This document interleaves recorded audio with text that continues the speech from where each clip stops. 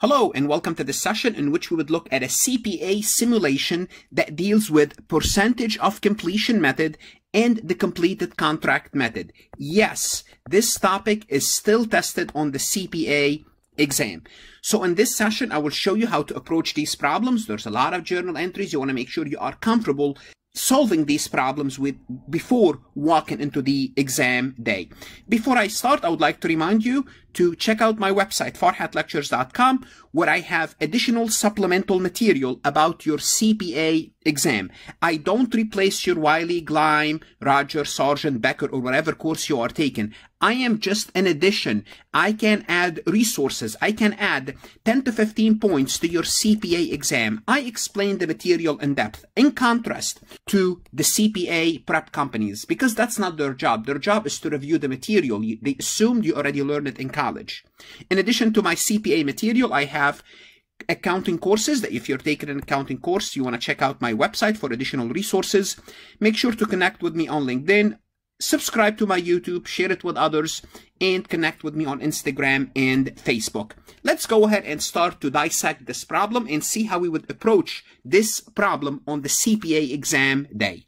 Adam Corporation uses the percentage of completion method to account for work performed under long-term construction contract. Adam began work under the contract, this contract number, which provided a contract price of 3,645,000. Simply put, this is your total revenue.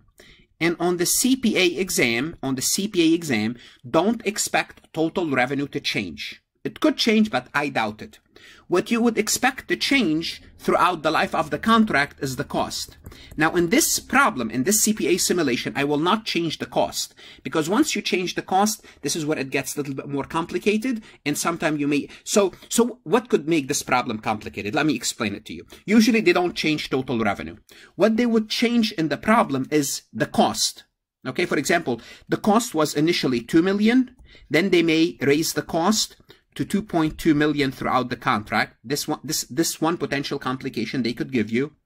And the other two potential complication that they could give you in a percentage of completion and make it really, really more challenging to you is once they increase the cost, you might incur a loss. Now, this loss could be a loss in one year, which is kind of a loss in one year, then you're going to have gains again in future years, or a loss for contract and you're going to have to deal with those two different scenarios. Now, in this problem, I don't go into this depth because it's that's not the purpose of the problem. The purpose of this problem is to make sure you are familiar with the basic concept. If you want to learn about the losses, go to my website, farhatlectures.com, where I have additional exercises and explanation for these type of scenarios. So in this scenario, it should be pretty straightforward. You want to make sure you're comfortable with the basics before you go into in-depth explanation. So this is what we have, the data that we have for 2020 and 2021. Cost incurred during the year. So we be very careful how cost is giving. Because cost could be giving as incurred during the year, or it could be cost incurred to date. Those are two different things. Cost incurred to date, it means it's a cumulative cost that include cost from prior years. In this problem, they're giving you each cost separately, 2020 and 2021 separately. So be careful if the, if the information is giving cost to date, incurred to date, or cost incurred during the year, because it makes a difference. Because your cost it's going to be your measuring stick. It's going to tell you how much revenue to recognize based on the cost incurred. So be careful. Then you are giving estimated cost to complete. How much left? 1.5 million and uh, zero for uh, 2021. Why? Because the project will be completed. Billing, how much did you bill? And how much did you collected during the year? So this is the information that's usually giving in those type of problems. The first question reads, what portion of total contract price would be recognized as revenue in 2020 and 2021? I would say recognizing the revenue, in other words, uh, knowing what revenue to recognize, what percentage of revenue is the key to solving these problems. So if you don't know how to recognize the revenue, then that's it. You can't do anything because if you don't know how to recognize the revenue, you're not going to know how to recognize the profit. If you don't know how to recognize the profit, you're going to have problem with your journal entry for the income statement. Now you could still be able to complete some balance sheet entries. Well, let's talk about this. So how do you compute how much revenue do you, do you need to recognize? Well, it's all based on cost. So you have to know, what is my cost incurred to date divided my total cost? Okay, so what is the cost that I incurred up to this point? Well, up to this point for 2020, I incurred 563,000. So it's 563,000. This is my cost incurred to date. And I'm going to divide this by my total, the, let, me, let me put it this way, my most recent estimated total cost. Well, in 2020, my total cost is, for this project, is 563 plus 1.5 million.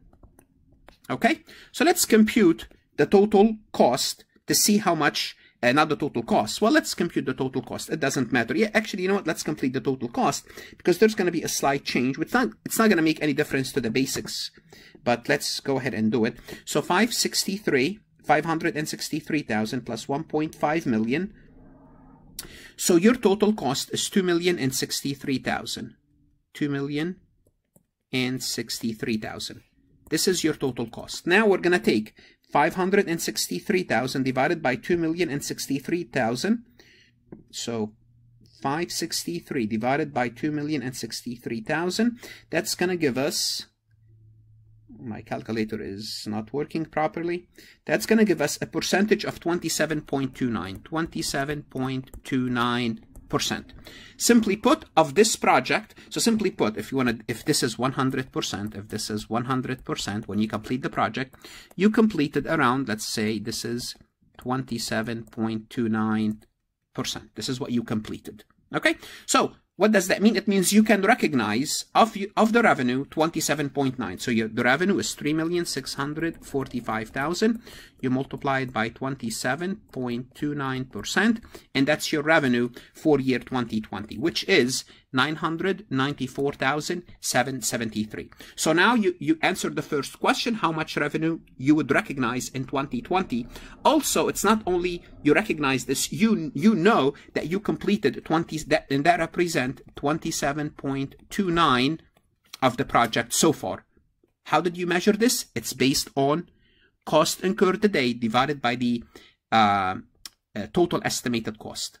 Okay, now for year 2021, because this is a two-year project, year 2021, because it's the, the following year, it's easy to uh, it's easy to complete this. So basically, your total cost, your total revenue is this much, 3,645,000. In year one, you recognize 994,733 and so what's left for year two or 2021 is 2,650,267. You could always do this for the last year of the project. If it's the last year of the project, you can take the total revenue for the project minus all the prior years because that's the last year. So the last year, what happened here is you completed what's left, which is the other percentage, which is whatever that percentage is, 100% minus 27.29. You can only do this the last year. Now, if you have three years, then we'll have to do, let's assume you have 20, 21, and 22. Then you'll have to complete what percentage in 2021 based on the formula that I showed you. Again, on my website, I do have this computation where you have multiple years. Now we know 20, 21, therefore we answered the first question. Now they want us to prepare a set of journal entries for 2020 under the percentage of completion method and under the completed contract method. Now, the way I explain the percentage of completion method, you have two sets of entries. One set is for the balance sheet and one set is for the income statement. First, we're going to compute the balance sheet entries. Okay, so here, here, here's, here's what you need to know. You incurred 563,000 of cost. How are you going to record this cost? Well, think about it. If you are a manufacturing company, if you are a manufacturing company and you are building a machinery or um, or it's, let's assume you are building inventory for that matter to sell. So you are building an asset. And this is what you are doing now. Your long-term construction is you are building something that you are going to deliver. You are going to sell for this price. The price is already known. So what do you do when you incur cost? Well, cost is inventoried. It means it's an asset. Therefore, we debit construction in process, which is in inventory account an asset for how much? For the cost incurred, 563,000. What do we credit? Well, we credit what we incurred, whether it's cash, material, we bought it on account, payable. So we credit the whatever we incurred. Also, so notice both of these accounts are balance sheet account. So this is how you record the, the cost incurred during the year. Now, you billed the client billing during the year 580,000. So what do we do when we build the client? Think about it. When I build the client, I debit account receivable. I'm, I'm telling the client, please pay me for services that I did. So I will debit account receivable 580,000. Now, what do I credit after I debit account receivable? And you might be thinking right now, and rightly so, well, if I build the client, I have to debit sales or I have to debit revenue. In, in, in long-term construction contract, you don't do that because I already told you the revenue will be 994, 994.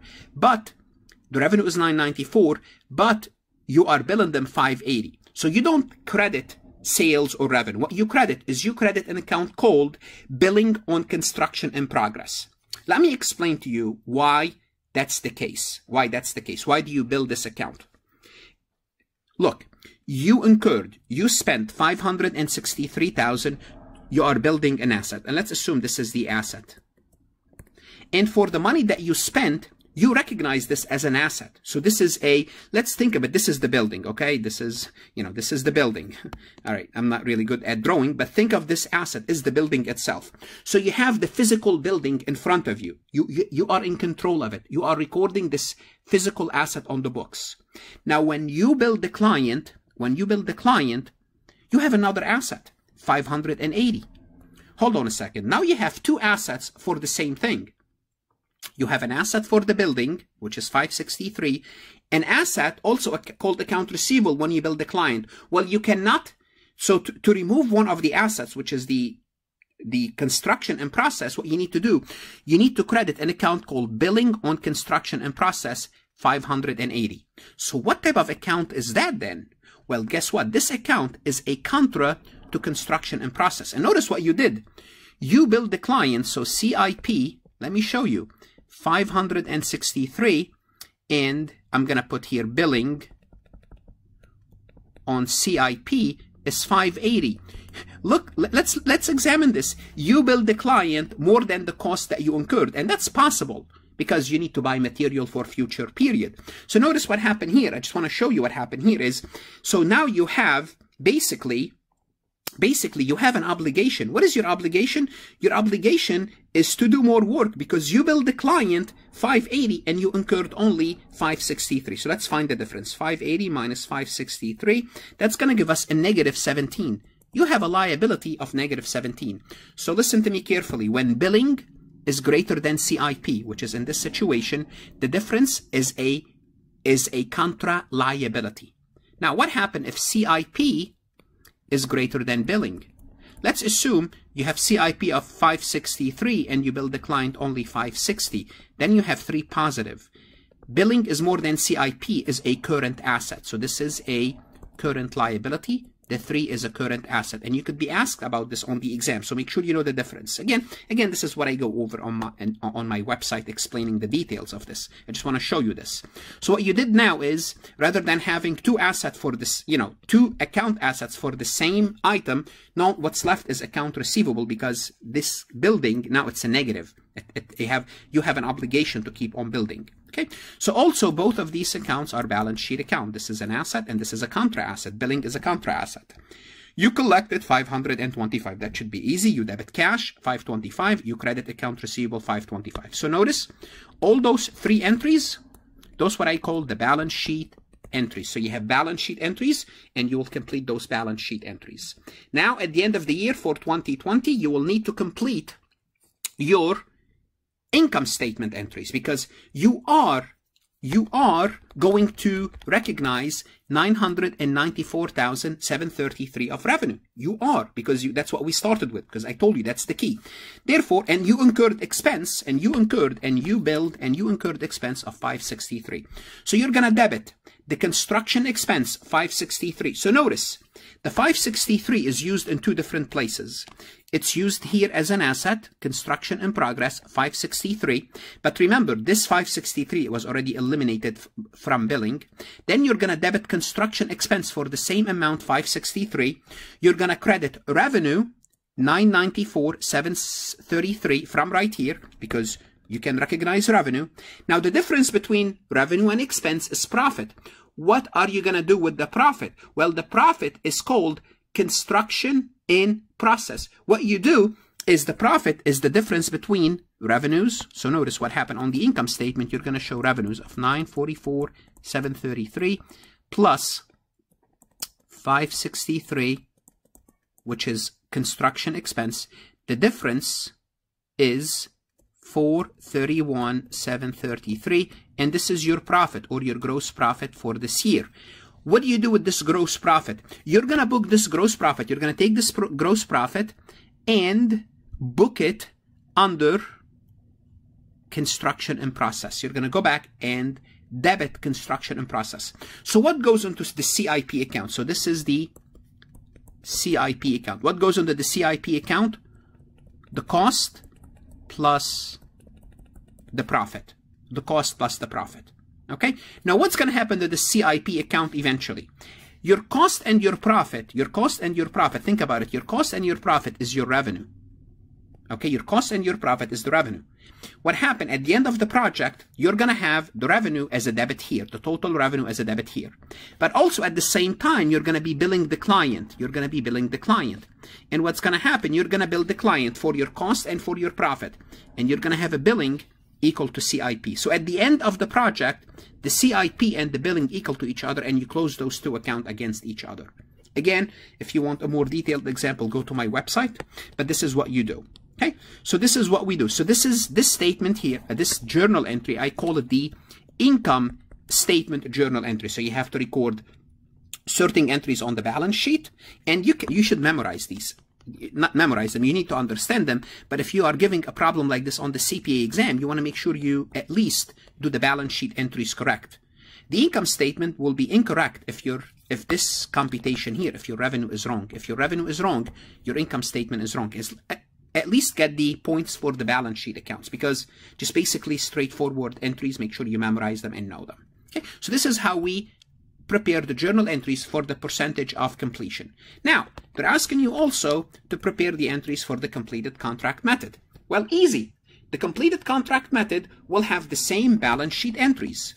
Will have the same balance sheet entries. So the completed contract method will have the same, the same balance sheet entries. Then what happened under the completed contract method, you don't have for year 2020, you don't have the income statement entry. You don't have this entry. Why not? Because under the completed contract method, the idea of it is you don't recognize any revenue until the, the project is completed, until the project is completed. And when is the project completed? The project is completed in year 2021. Well, so in 2020, we don't have to worry about these entries. So what's going to happen in year 2021? in year 2021, you're going to have the total revenue, which is 3,645,000 as revenue. You're going to have the total expense. And notice your expense did eh, your total cost for the project did increase because remember we thought we're going to incur year two 1 1.5 million we incur 1 million 765 again for these type of examples go to my website but the point is your cost did increase so what you do the difference between so you're going to have these will be your construction expense in year two, construction expense, those two together, and this will be your revenue for year two, 3,645. And the difference between them will be your gross profit or CIP, which will be close to billing. So again, this problem, I would say, especially that we did only year one, pretty straightforward. Uh, you want to make sure at least you're, yeah, look, if you're not comfortable with what I just showed you in this problem, it's like, this is as basic as it gets for percentage of completion, okay? So what should you do? Again, I'm going to invite you to go to my website, farhatlectures.com, for additional resources for your CPA exam. I do have this topic in depth, in depth covered. Once again, if you have, you, you might be saying, why would I go there? I do have my own accounting, um, I have my own CPA course. Yes, you do. I'm okay with that. You should have that. I don't replace that. I help you explain the material better because on Wiley, Becker, Roger, they go real quick over these concepts. I don't. I teach you this material as this is the first time you are looking into it. And don't shortchange yourself for my subscription. Your CPA exam is a lifetime investment. You are investing now for the next 30 to 40 years of your lifetime. Study hard, stay safe, And that's the most important thing these days.